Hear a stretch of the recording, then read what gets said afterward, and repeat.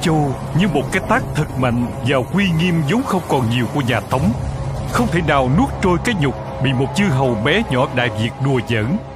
Hoàng đế Tống Thần Tông bèn phong Quách Quỳ làm đại tướng, lại ban cho Thượng Phương Bảo Kiếm được toàn quyền chỉ huy ba quân. Thêm Triệu Tiết làm phó tướng, quyết tâm chinh phạt Đại Việt để trả mối thù Ung Châu.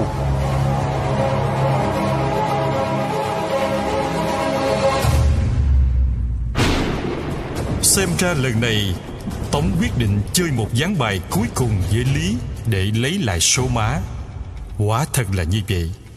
Một trăm ngàn quân, trong đó có đến một nửa là triệu tập từ biên giới hai nước Liêu Hạ về. Hai trăm ngàn dân phu để xây dựng và vận tải, thủy binh, kỵ binh, máy bắn đá, hỏa tiễn, bất kể thứ gì tân tiến và xịn nhất mà Quách Quỳ có thể huy động được đều gom lại cho chiến dịch quy mô lần này. Trong hàng ngũ tướng soái nhà Tống, Quách Quỳ được coi là lão luyện về việc biên thùy, tính tình rất thận trọng. Một trường ác đấu giữa hai quốc gia hùng mạnh là khó tránh khỏi. Nếu Lý Thường Kiệt thua cuộc, Đại Việt sẽ bị xóa sổ như bao quốc gia bất hạnh khác trong lịch sử loài người.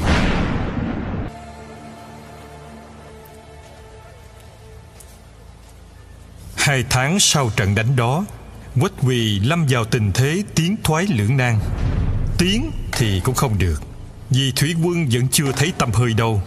Lùi thì cũng không xong, vì sẽ mắc đại tội với hoàng đế. Không tiến không lùi thì phải xử lý ba quân đang mắc dịch bệnh phương Nam. Cuộc đời đen như chó cắn, Quỳ thở dài, thổi tắt ngọn đèn rồi trèo lên giường. 36 kế tôn tử. Kế nào là dùng được?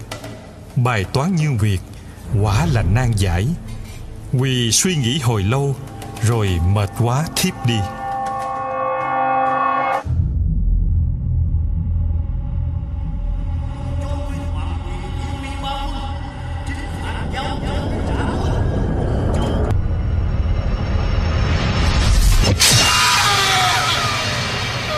Không biết bao nhiêu canh giờ trôi qua Nhưng gió bắt đầu thổi mạnh. Trong tiếng gió vang lên một giọng trầm. Quách quỳ mở mắt Tay nắm chặt thượng phương bảo kiếm Im lặng lắng nghe. Sông núi nước Nam vua Nam ở.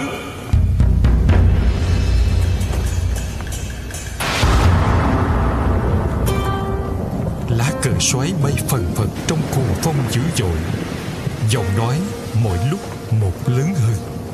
Ranh ranh định phận tại sắp trời. Bỗng có tiếng hò reo gian trời chuyển nước.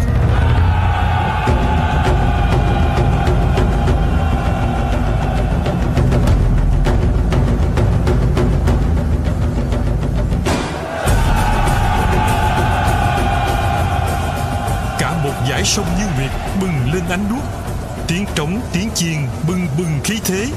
Khi đoàn thuyền nhà Lý rẽ sóng trực chỉ bờ Bắc Gươm giáo sáng choang. Giọng nói trầm hùng lại vang lên một lần nữa. Cớ sao lũ giặc sang xâm phạm?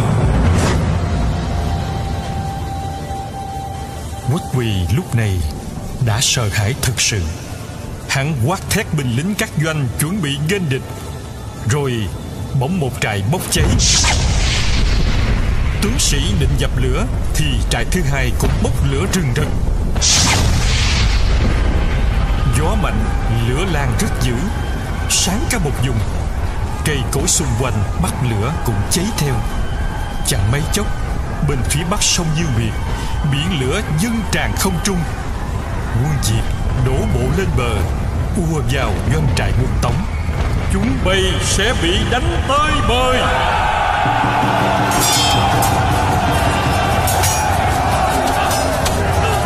Quách quỳ mặc dội áo giáp, Lao ra ngoài trợ chiến.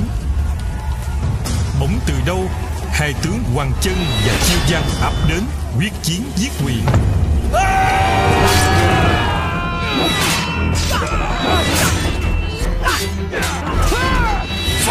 cơ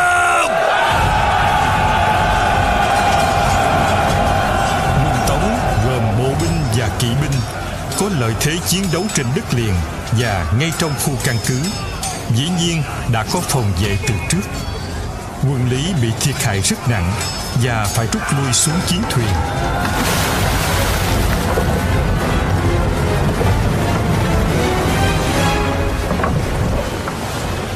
Quách quỳ hang máu ra lệnh dựng hết máy bắn đá lên, quyết đánh đắm toàn bộ thuyền địch đồng thời cho quân đuổi theo thuyền soái để tiêu diệt hoàng chân và chiêu văn.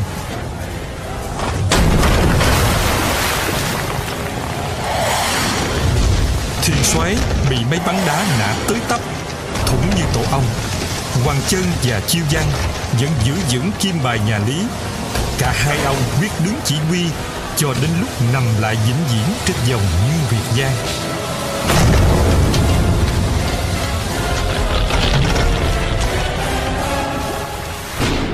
Quách quỳ đắc thắng. Ngày mai là ta có thể ngồi uống rượu trong thăng long thành rồi. Chưa kịp vui mừng thì nụ cười tắt hẳn trên môi khi quỳ nghe tin chiến báo. Cấp báo, cấp báo Doanh trại của phó tướng Triệu Tiết gặp nguy Hóa ra Lý Thường Kiệt đã dương đông kích Tây Sai Hoàng Chân và Chiêu giang đánh Quách Quỳ, Thu hút hết toàn bộ lực lượng nhà Tống Để một mình rảnh tay tấn công Triệu Tiết. Đêm đó, nghe Quách Quỳ bị đánh, Thì Triệu Tiết cũng gửi quân đi cứu viện. Nhưng như thế thì đã mắc mưu Lý Tướng Quân rồi. Lý Thường Kiệt áo bào đỏ bay phất phới Hùng Dũng sách đại đao, Dẫn đầu ba quân xông vào doanh trại.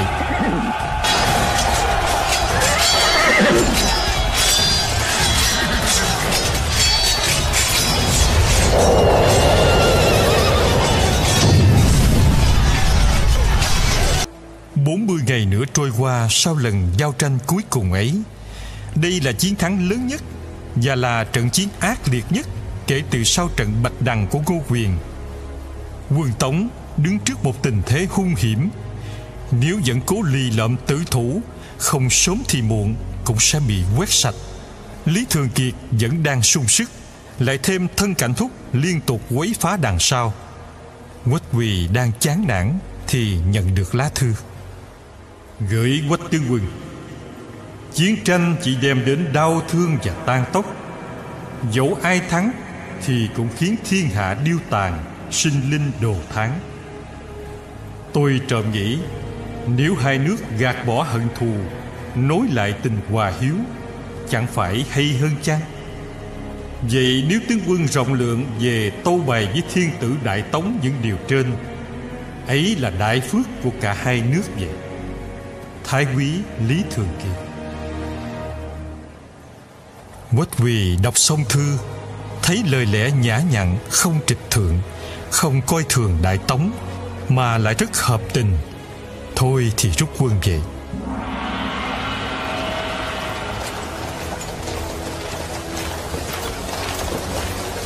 Quách Quỳ trở về, Bị hoàng đế giáng chức Và cho nghỉ hưu sớm. Quân Tống mất tổng cộng 8 vạn quân và 8 vạn phu. Toàn bộ chi phí chiến tranh ngốn mất 5 triệu hai lạng vàng mà chẳng thu được cái tích sự gì. Thất bại này đã làm cho nhà Tống hết muốn xâm lược quận Giao Chỉ mà buộc phải công nhận Đại Việt là một nước riêng. Nhà Lý thả những người ở Ba Châu, Ung Khâm Liêm về lại Tàu, còn nhà Tống thì trả lại Quảng Nguyên tỉnh Cao Bằng bây giờ Giang hồ đồn rằng chỗ đó có nhiều vàng Người Tống tiếc của nên có câu thơ than rằng Tham voi giao chỉ Mất vàng quảng nguyên.